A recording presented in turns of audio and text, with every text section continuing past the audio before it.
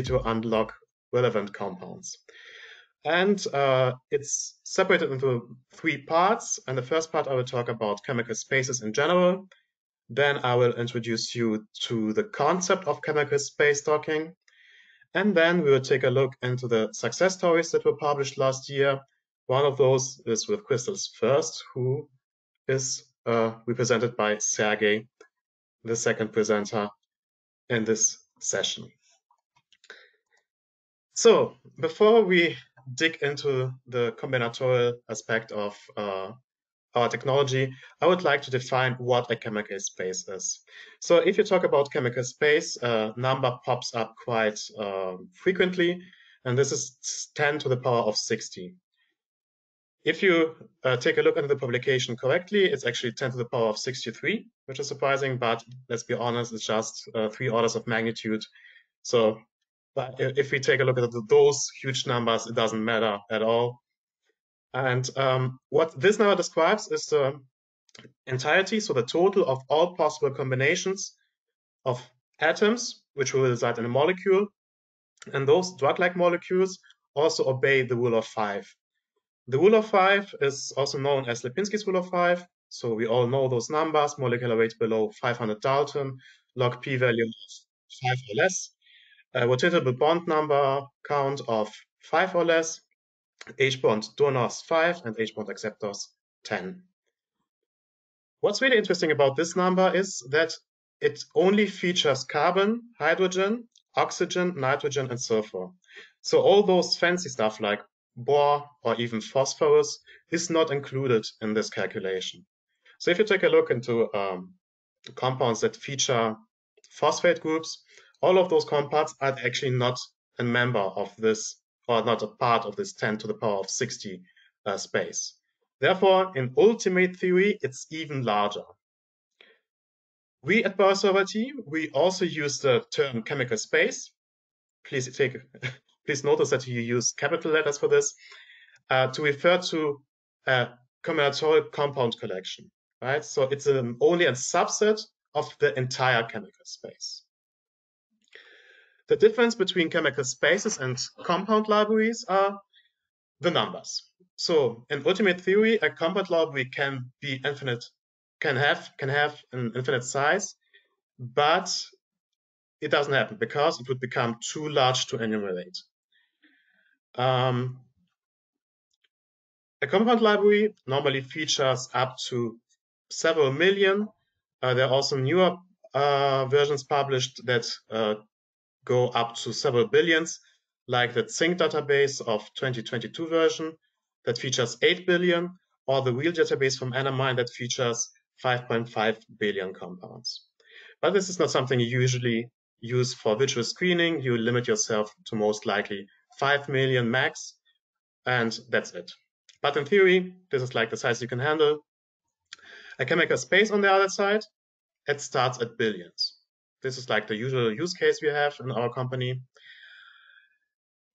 I've mentioned data, and this is like a very, like the driving force behind chemical spaces.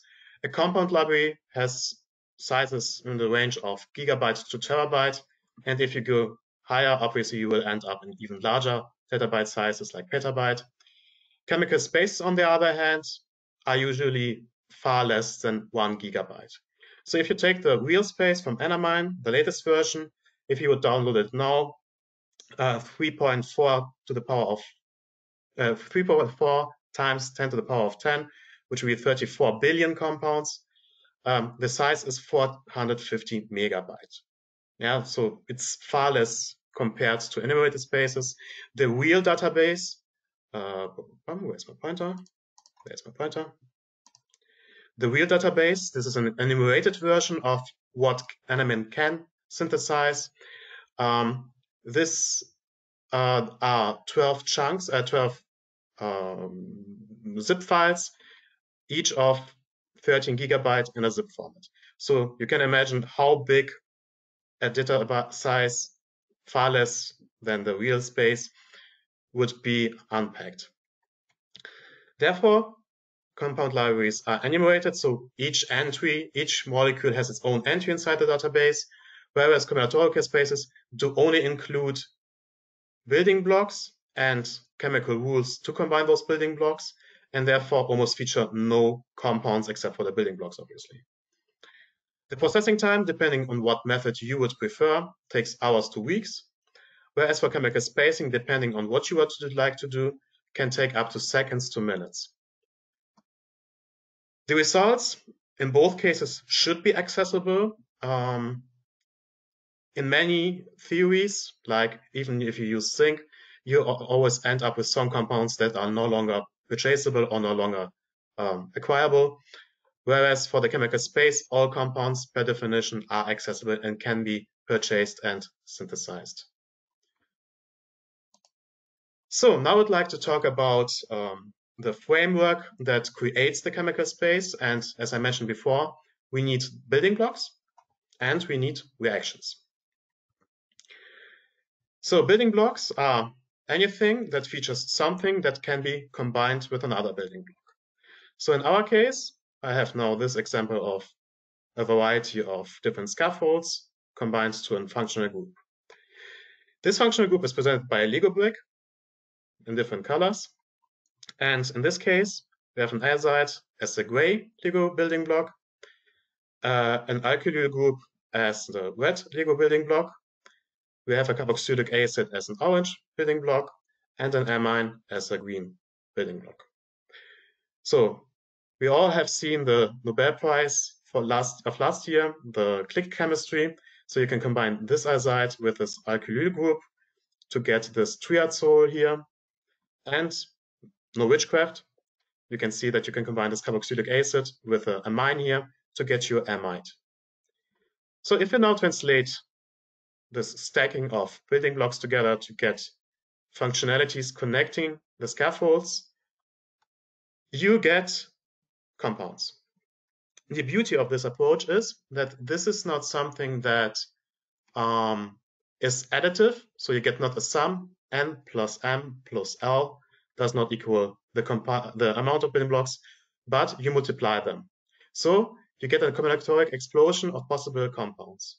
So if you would have 10 and 10 and 10 building blocks, you would end up with 1000 possible compounds. And this is what our um, tool Colibri does. What we do, we provide it with building blocks, and those building blocks contain functional groups or functionalities. We then define chemical reactions like an amide coupling and whatever you can imagine. Uh, this can also include particular necessities or exclusions. So if there's something like an electron withdrawing group that can affect the reactivity of a functional group, we can also feed it into the reaction definition and therefore also increase the likelihood of synthesis. What Colibri does, it translates the building blocks and the chemistry. It combines what can be combined because you know that the green building block can be uh, the green is the carboxylic acid and they can be combined with an amine which is blue maybe it can be combined with something else like an alcohol for an ester and stuff like that and once we apply those rules with our chemistry know-how we create our beautiful chemical space with billions of compounds where all of our building blocks are combined according to the chemistry we provided. And this is the most crucial part because since we affect the reactions and we define the reactions, we also know that those compounds that are inside this space can also be synthesized. So we applied this technology to several projects and several um, collaborations and to give you an idea of how big things have become. Um, if you go to Campbell and download all the drugs ever published so far, you end up with approximately one, no, I think it was 12, 12,000 uh, entries of approved drugs, which is in this vicinity of 10 to the power of 5. If you now start to leave this very small space, you end up in um, uh, in um, public domains like uh, the Scooby-Doo uh, database, Chipmunk, PubChem, uh, GDB17, and also our knowledge space. So all of those yellow, uh, green, uh, sorry, orange bubbles are accessible to everybody and everybody can work with them. Uh, many companies have provided and created their own services and their own business model where they synthesize compounds and then sell them to the pharmaceutical company. E-molecules, to mention a few, WuXi Virtual, MQL Ultimate, also the Zinc database is of commercially available compounds. And those are in blue. And in red, we have proprietary spaces. So something that company have created for their own investigations, something a normal person would not be able to access uh, easily. And if you now pay close attention, the more you dive into the huge numbers, the more it becomes obvious that you need another approach that is not enumerated to handle those numbers. The largest space so far is from GSK, the GSK XXL, and features 10 to the power of 26 compounds. It's like the it's not the number is just unfathomable. It's, you cannot comprehend how big this space is and what the possibilities behind the space are. So the question arises: um, Do we need so many different chemical spaces? And well, yes. Um, there's a publication um, published in J, uh, JCYM in 2022 that compared uh, the overlap of chemical spaces. So here we have the real space from Anamine, Galaxy from WuXi AppTec, and Chem-Wire from Ottawa Chemicals, and also the knowledge space, which is public domain from Biosolve IT. And if you now take a look into what the overlap between those fast numbers is, so we have billions and trillions here, and the overlap is so small, just a minuscule percentage of what is available in all of those spaces.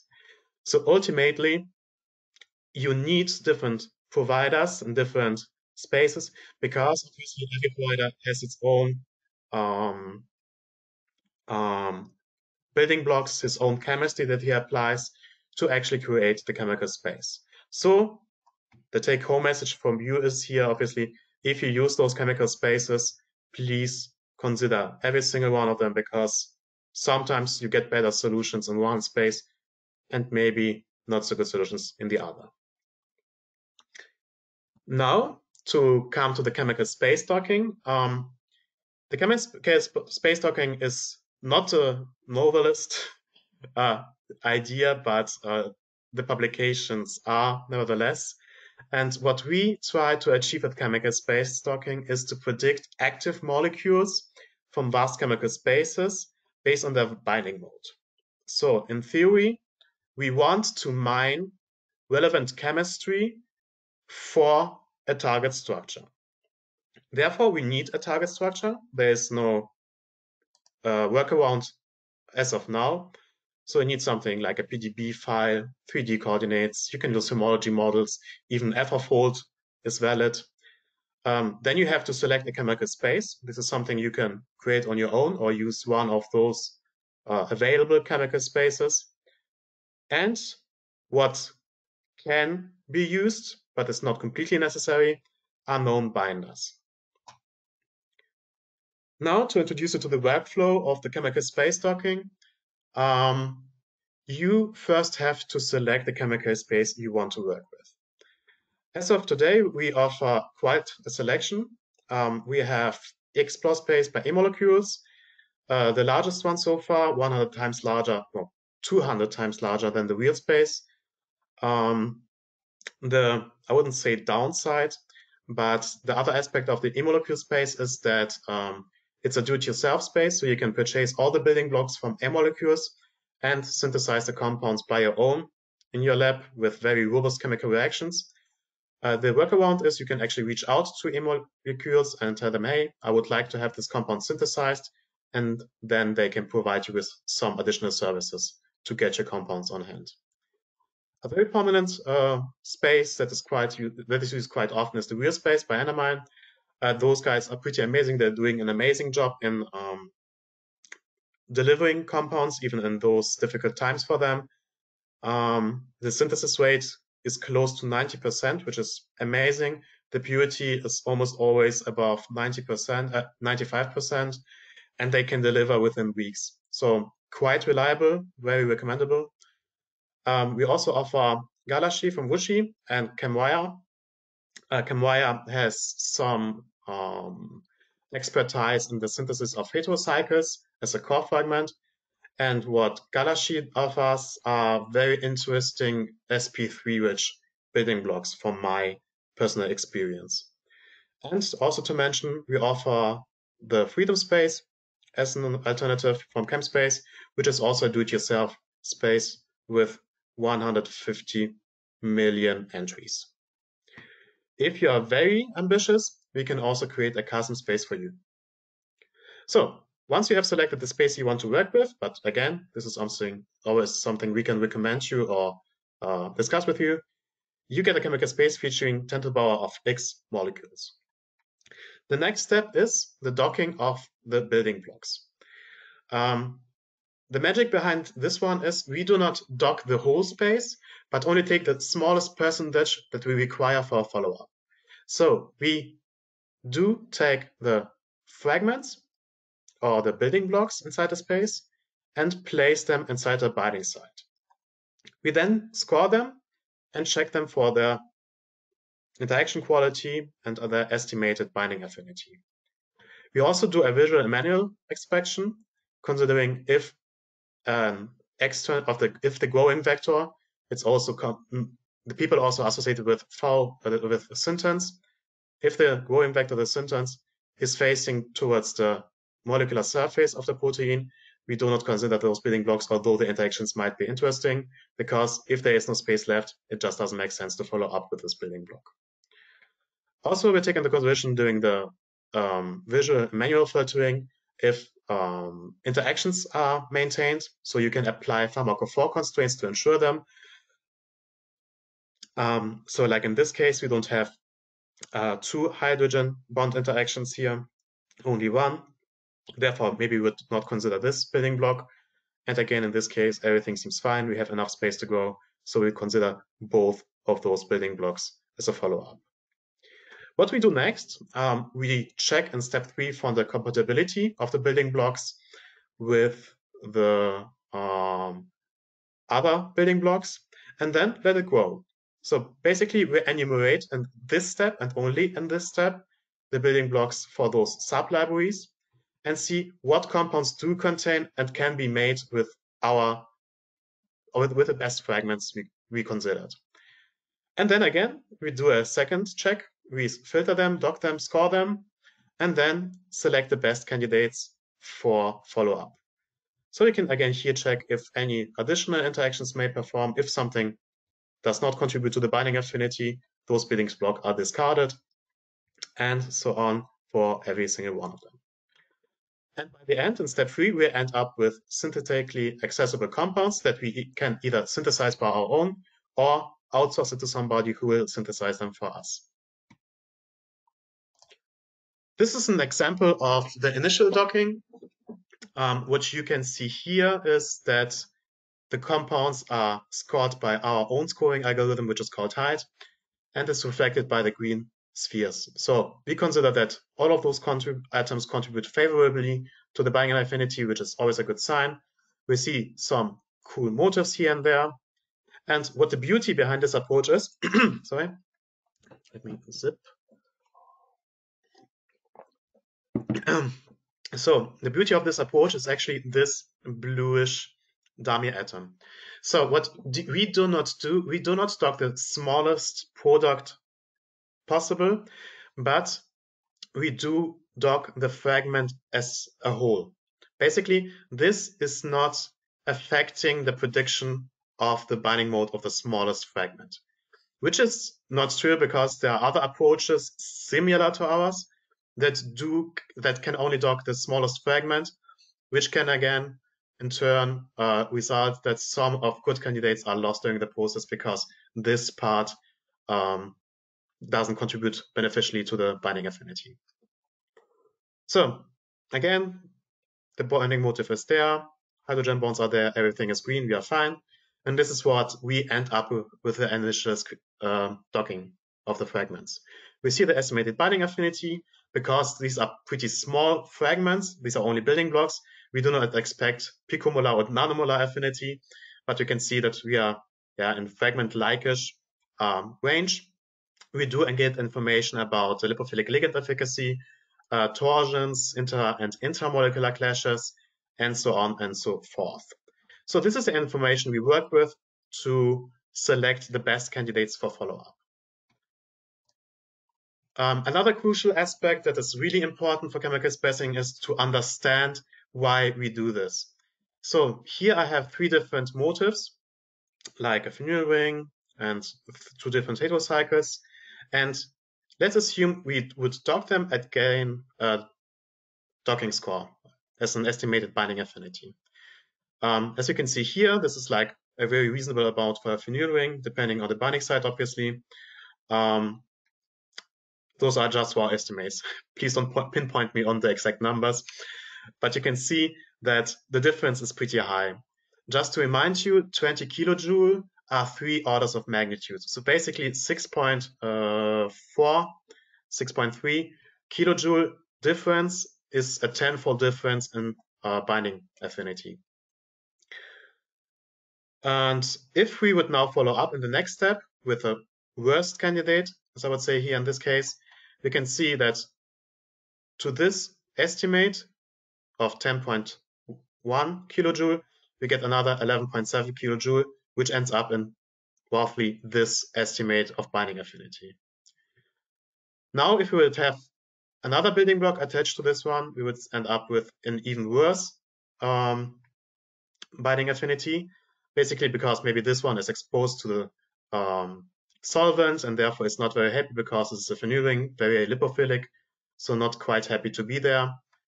And once this happens, uh, obviously this compound is not happy. On the other hand, I will just go down back here, we have a much better candidate. So the much better candidate has the possibility to compensate for this. It gets quite an additional amount of binding affinity through the addition of the building block. And with a given the better initial state, it becomes a better binder in the second round during the chemical space docking. Whereas if it has it gets a different compound attached to it, we see that it ends up with a lower or worse binding affinity compared to this one. Yet, if we have something with a different chemistry, because those both are six-membered rings, if you now take a look into a five-membered ring, the direction here is a little bit different, the exit vector, the growing vector. We can see that sometimes it can now become a better candidate, worse candidate, because now we can see this time the addition contributes only 7.8 kilojoule in this case, whereas in this case, it gets 11 uh, 17.1 kilojoule per mole. So what does this whole slide tell you? This whole slide tells you that if you have a bad candidate to begin with, it becomes exceptionally difficult for you to end up with a good candidate for follow-up, right? On the other hand, if you start with somewhat reasonable candidates, you can also end up with bad candidates, but the chances that you get something that works better are much higher. And this is the beauty of our combinatorial approach. Um, what we do, we combine only those building blocks with the highest chance of success. So we do not consider every single compound within those fast chemical spaces, but only take the best compounds and the best fragments into consideration. So we do not follow up on each route and take every single combination, but just follow up with the best growing vectors for the fragments. And therefore, we are able to enumerate efficiently. So given now this example, we would end up with six compounds to enumerate. No, it's only five, sorry, five compounds to enumerate, while the whole rest is not considered and would likely not end up as a good result either way. So obviously the elephant is in the room and the question is, is bigger better? There was a nice um, uh, publication by David Gloriam a few years ago. Um, I added the question mark because I just want to be a little bit provocative on this side, um, where he talks about if it does make sense to create all even larger libraries and keep on growing, growing, growing. And um, a few weeks ago, um, there was a beautiful publication that kind of like just um, supported uh, the Gloriam paper, bigger is per definition better. So this is the publication I'm talking about. Um, Irvin from um, from uh, Zing database, and there's a Shortshot, which is also a very well-known name uh, in, the, in, this community, and also uh, Artem Cherkasov uh, that comments on this publication and other uh, large large compound library screenings. And what they um, discovered is bigger is better because um, the increase in number results in more good scoring candidates doing docking. So basically, um, you have an accumulation at the best docking candidates um, due to the fact that once you expand your chemical space, you also end up with rare candidates that perfectly fit into the binding site and complement it. And if you go even bigger, um, those scaffolds start to accumulate in those top ranking docking predictions. What's even more interesting here is that larger libraries are less bio-like biased.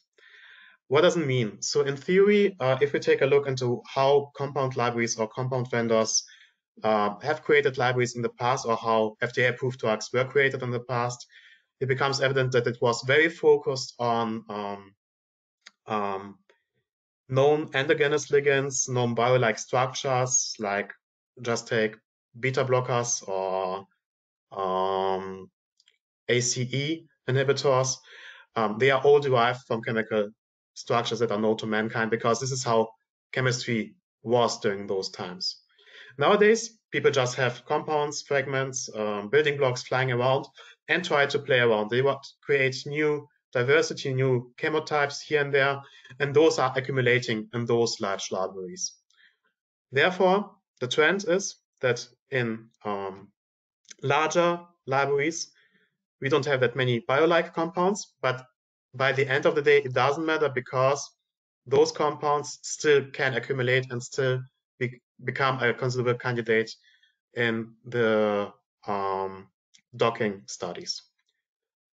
What's really interesting is that where event artifacts appear more often, so uh, the paper describes artifacts that as as compounds that um, or compounds that display interactions at the target, which are in a loophole, I would say, from the docking algorithm. So those compounds rank pretty high, but only because the scoring algorithm has some flaws in this regard. And obviously, what's the most relevant um, aspect to us is that they increase in chemotypes. So the larger the library, the more chemotypes you will get out of that.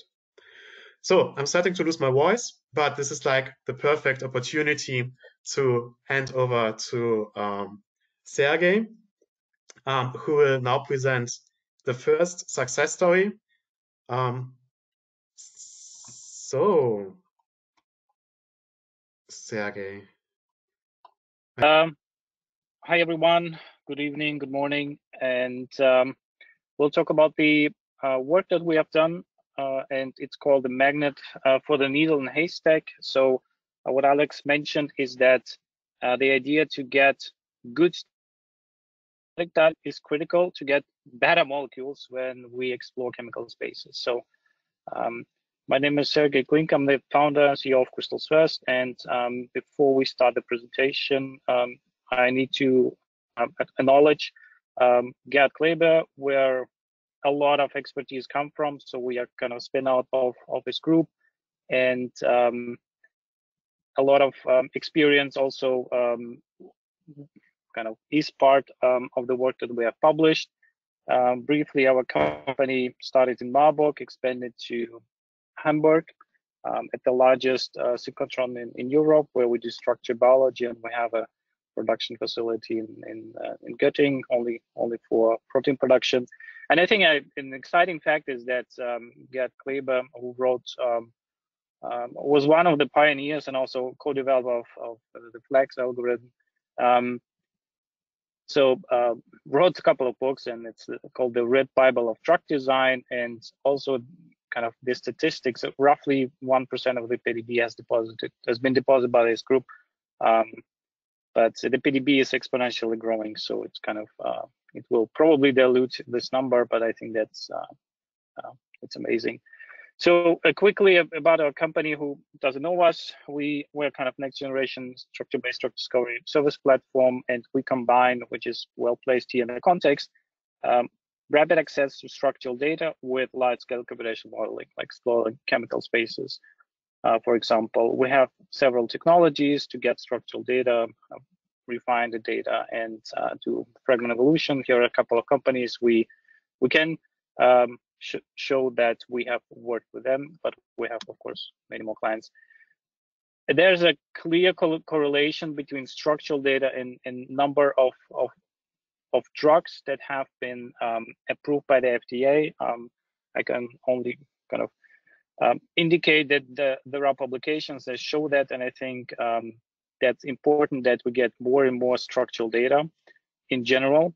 But in terms of um, how how we think about um, exploring chemical spaces, uh, to, to get everyone on the same page, we are in the context of, of uh, fragment-based drug discovery where uh, the idea is to have, of course, um, smaller compounds uh, uh, like fragments that occupy sub pockets, and we can build uh, them, um, grow them more in a tailored manner.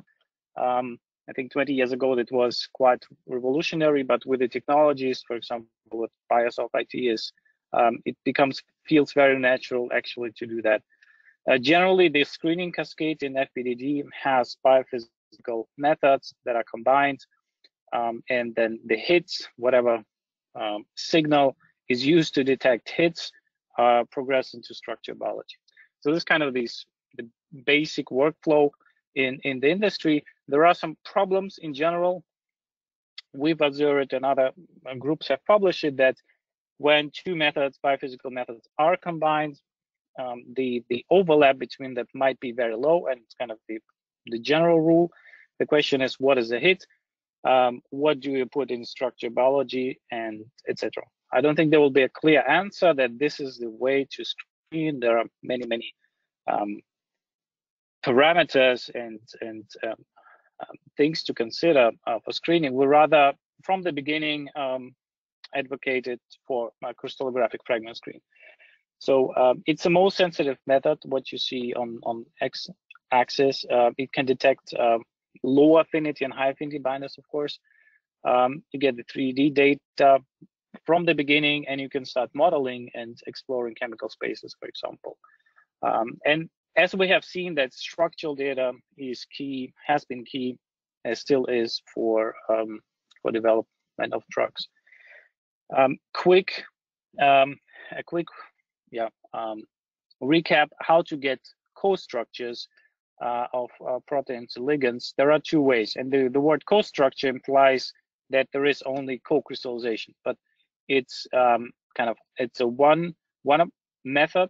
The other method is to apply soaking where you um, crystallize apose protein and soak the crystal in, with a ligand solution or some. Um, you can think about that like a, um, and soaking is scalable because you can um, optimize the crystallization get a lot of crystals and kind of um, screen whole libraries. Co-crystallization is not scalable because any change of the protocol can may may not lead to crystallization. Everything else from the process uh, is is very um, is the same, collecting data, processing data. Um, the key is for soaking um, and for FPDD is it's important to have high performance soaking systems. So uh, they're very robust and um, also might be very flexible um, if you change any chemotype or need to change the protocol.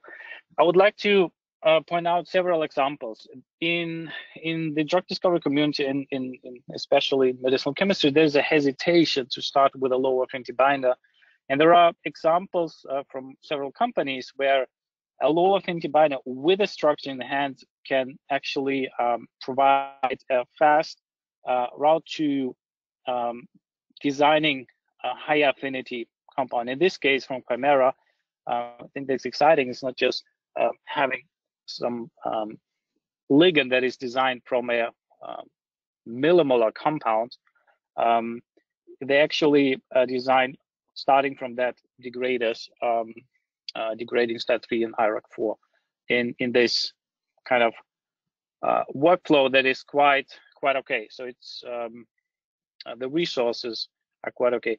Of course, Astex is one of the one of the leaders F, uh, pioneers in FVDD. Uh, they have numerous examples. For example, um, with SHIP2 and um, ERK2. So SHIP2, the the the fragment head was uh, millimolar, and um, they developed in a um, low micro. And here the kind of the uh, publication, they applied the same methodology, let's say, to, to co covalent binders. Not sure why the links are here, but um, um, the the fragment was um, actually almost not detectable, even though it was covalently um, um, attached um, in in the active site, and it was developed to a, a millimolar inhibitor. And um, this publication, uh, I show it on, on, a regular basis because um, Boehringer pioneered also um, a lot of, um, of RAS uh, or development of RAS inhibitors. And um, in this publication, they um, they say very something very similar that uh, what's what's the hypothesis or company they call it X-ray first, where crystals first. So this paper was published in 2020. Um, it gave us a lot of, um, let's say, content to um, to advocate for this approach, to get a lot of structures.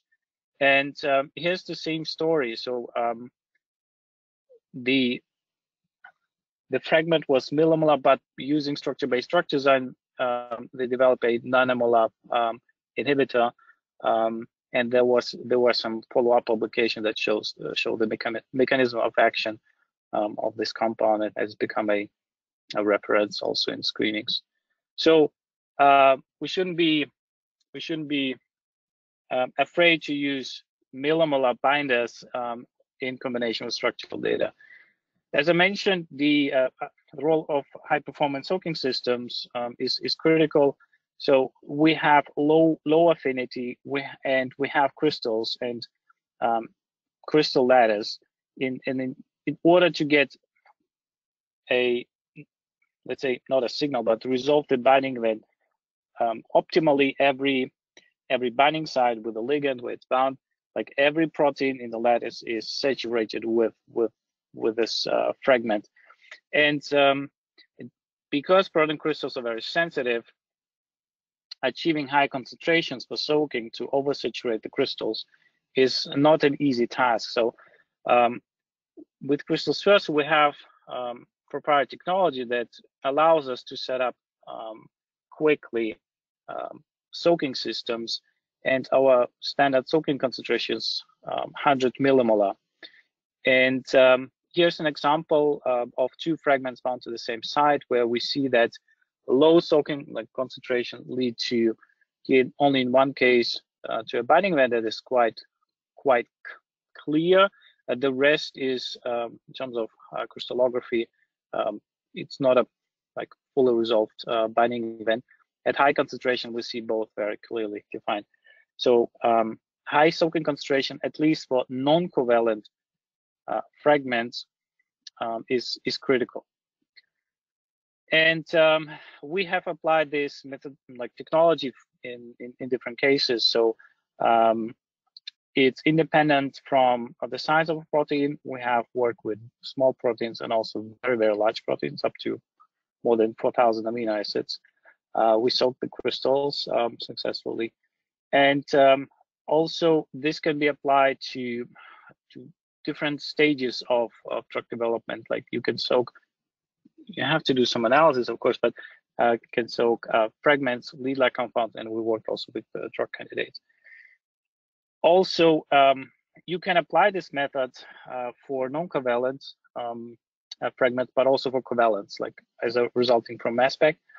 And in such a screening, you can also, um, we've seen like cryptic pockets opening. Um, so it's kind of a nice, nice tool to to to map the surface and determine many structures um, especially um, I would like to share our experience that um, like for non-covalent binders, it's the concentrations that's driving the binding event. It's um, um, not necessarily the, the soaking time, but for covalent binding, uh, what we've seen, and we have uh, some project time resolved data, we see that um, soaking time is critical, um, but also um, pH, of course, is, is also critical. Um, now, to to the work that we would like to present here is was a collaboration between um, ChemSpace, NMI, uh, Biosolve IT, and the Philips University of Marburg, um, and and Crystal Spheres. Uh, unexpectedly, got a lot of attention. Um, even um, Derek Lowe summarized pretty well uh, the work, so it's worth a read. Um, you feel free to check out. Um, I would like to share uh, things that are um, kind of the thought process and the kind of the logic behind behind the paper um, um, in in uh, briefly. So we selected from it, about 20 co-structures, like four for um, application of fragment evolution using chemical spaces uh, without prior knowledge of uh, the binding affinity. We just had crystallographic fragment heads, um, and um, we selected uh, them according to what um, the one of the authors, Janis Müller, defined as uh, ligand confident. So um, from the structure biology perspective, and please model us, always check the electron density when you start modeling.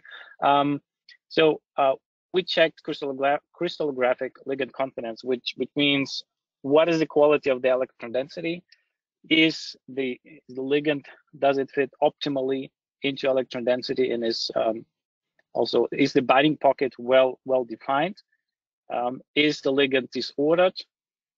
Or, and um, uh, we were looking for high occupancy.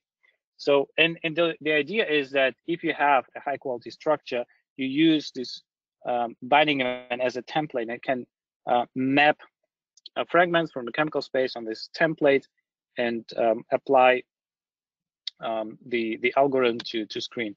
One of the examples, this structure was excluded. You see there's disorder um, and the B factors, for example, were quite high compared to uh, the B factors of, of the protein.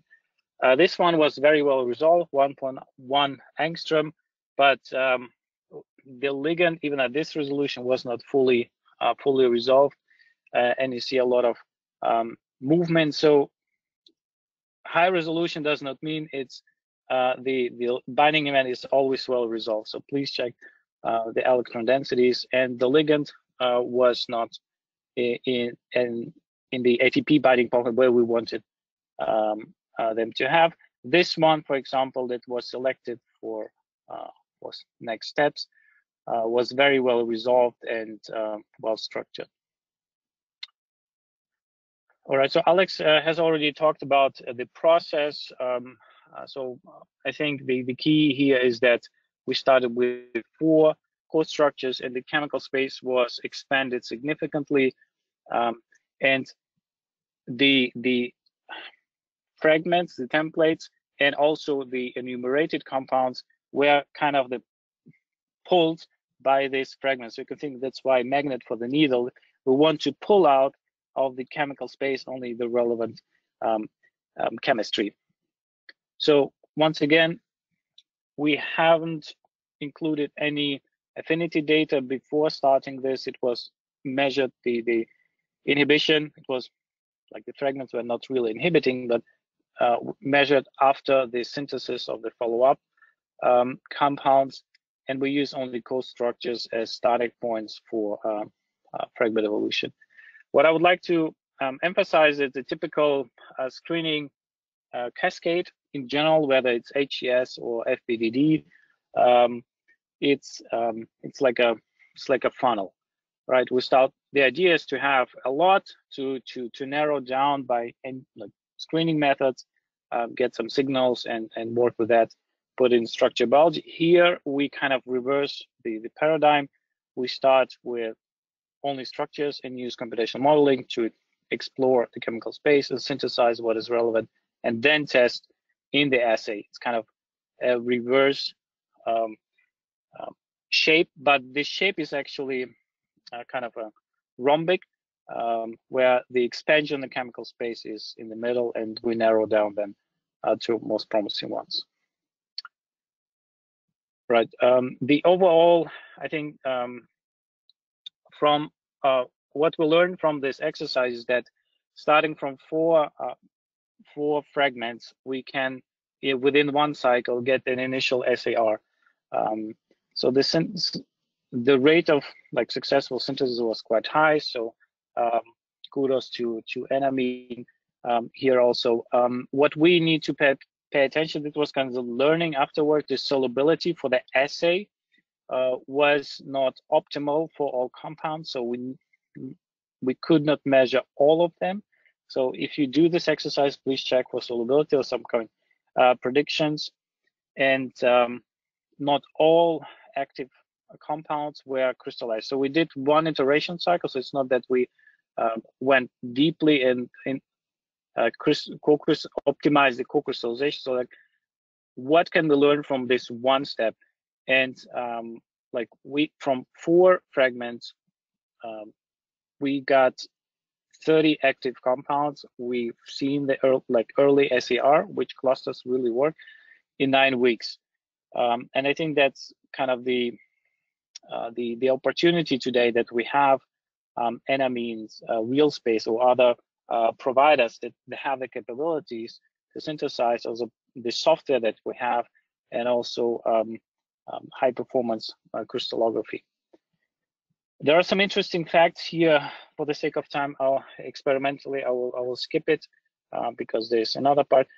Me as a modeler was Im important to see. There's a lot of discussions around fragment flipping, uh, binding mode, and um, uh, we were quite confident that it won't happen here because of the what I may introduce the ligand confidence idea. Like, um, is it well resolved?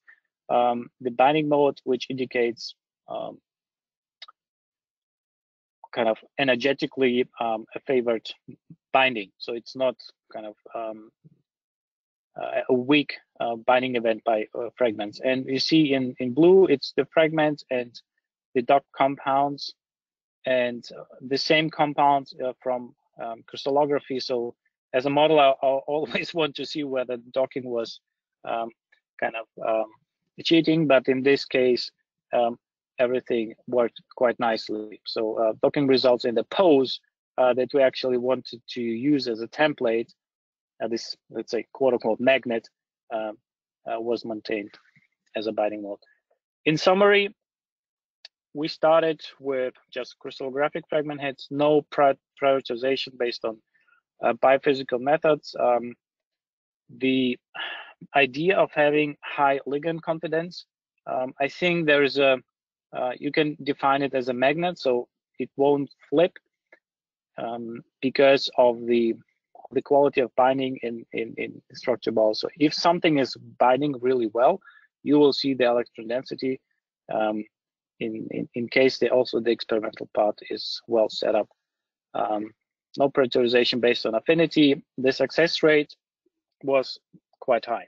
So, um, and the idea is that when you start with experimental determined core structure, the experiment already took care of many parameters that are, are virtually difficult to, to manage, like entropy and, and enthalpy also.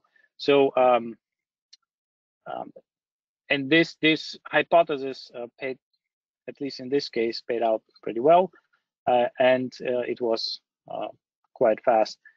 And the bottom line, we went from nothing something millimolar. Some fragments didn't inhibit the protein even significantly. To uh, one of the compound was uh, nanomolar, and the idea to, to to grow a fragment into something that is um, HTS-like, um, uh, like hit-like compound, but we have a lot of structural information, um, and everything's happening in one cycle. All right, Alex, I think I'm I'm I'm done here, and I'll uh, you can take over.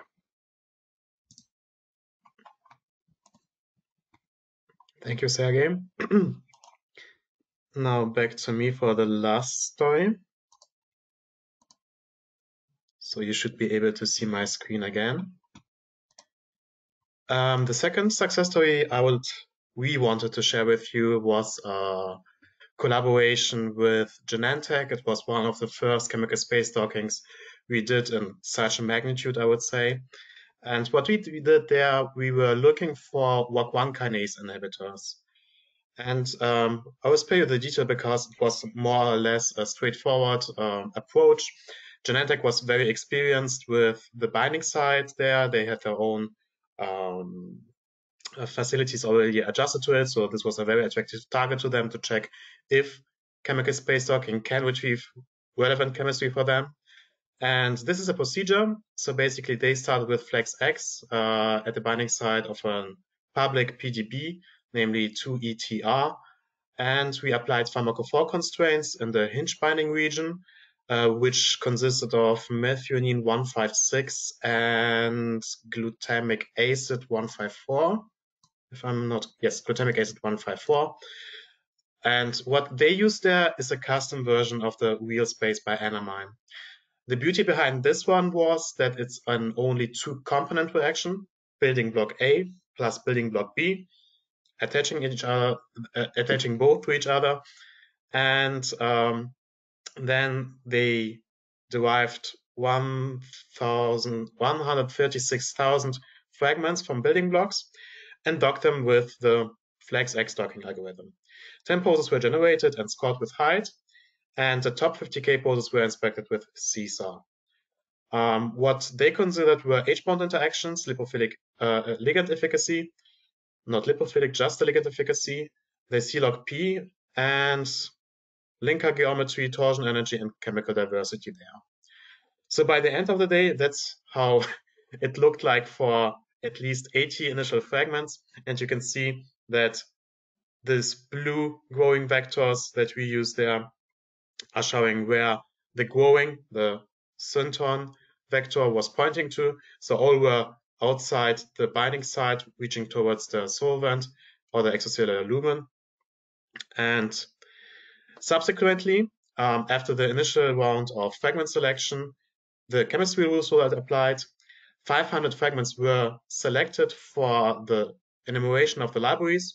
So basically, for all of those 500 fragments, uh, we took into account what can be synthesized with these 500 fragments. And as you can see, surprisingly, we ended up with 5.2 million compounds, which were then docked. Here we were a little bit uh, more efficient. Let's phrase it like this. We use only five poses, ending up in 23 million poses. You will now do the math and see, ah, sometimes it did not work out, basically because sometimes only one post came out or um, there were too many clashes. And after height scoring and filtering, we ended up with uh, close to 10 million total poses for evaluation. Subsequently, we took again a look into the top 550K, filtered them again. Um, there were also other software involved, which I personally welcome very much because you can use uh, other software to subsequently follow up on your results and then refine your results. And then 77 compounds were chosen for purchasing and 69 were delivered. Um, there's another note that's uh, important. Uh, and that's what they ended up with. Those are all the active compounds, and uh, they came up with four different classes, which is pretty decent from my opinion, to be honest. On the left side, we have the pointer. We have the pyrazole class, which you can see here. The most most potent compound had an IC50 value, no, sorry, Ki value of uh, 38 nanomole. Um, then we had a class of lactams and pyridones in this section. Uh, we had Atza azaindoles, which is also pretty nice hinge binding motif, to be honest, one of my favorites, uh, which is also one very good candidate with 97 nanomolar uh, Ki value, Ki value. And underneath we also had some potential candidates of the Indazol class. What's so surprising, even for me, um, 29 compounds were active out of those 69 purchased, which translates into a close to 30% hit rate, which is really, really amazing, even for a virtual screening approach. And finally, compounds 1 and compounds 22 were also crystallized, and they retrieved two X-ray crystal structures, 7s25 and 7s26. And if you now take a look into the binding site, you can see the hinge binding motif, the pyrazole binding in this area, and the azayandol in this area. We can see some lipophilicity that is obviously required in this section, one here with a phenyl ring, and the cyclo-9 is a uh, no, NUM culture. now we have this piperidine with a double bond here, follow up by an amide bond, and something lipophilic at the end, also with a phenoxy group for this particular region. If you now take a step back, you will also notice that many of those compounds were also active to some degree, which also provided the whole project with um, a whole SAR study in this field. So basically, chemical space dating does not only provide you with chemotypes, but since you are reliant on fragments and building blocks as your motive for binding, you can also explore a lot of substitutions in this field. So you get a pretty good idea of what can work for the follow-up and what does not. So now the comparison of the docking pose versus the X-ray. Uh, in dark green, we have the X-ray crystal structure. And in light green, let's call it like this, um, we have the predicted binding mode, uh, predicted pose we received from the chemical space docking. Um, what you will notice in this regard, the RMSD value is uh, close to, no, was 0.97 angstrom. So pretty good prediction on this side. Um, surprisingly, the pyrazole was dragged out a little bit out of this position, uh, likely because the docking predicted or did not see the interaction of this eta here with uh, the with the backbone of the phenylalanine in this side. Um, sometimes things happen. There's also some conformational adaptations of the enzyme because you can see once uh, the ligand bound here, we see a shift from the phenylalanine 87 to the extracellular lumen. It, open up, it opens up a little bit and therefore is able to host this uh, oxygen here, which direct, likely direct this pyrazole from the hinge binding motif, at least according to my uh, understanding. Uh, the second one, um, a little bit surprising as well. Uh, in gray, we see the X-ray crystal structure, and in blue, we see the binding mode prediction, an overall RMSD value of 2.3 angstrom, so not perfectly, but it worked out nevertheless. Um, this was kind of uh, explained by the conformational change. We can see it here for the phenyl 87 once again, phenylalanine 87 once again, and also for the aspartic acid 216. Um, so since our docking algorithm is based on rigid docking, this is something we could not predict, but this is something that would have been able to uh, seen while maybe if you follow up on the best candidates with an MD simulation uh, before acquiring the compounds.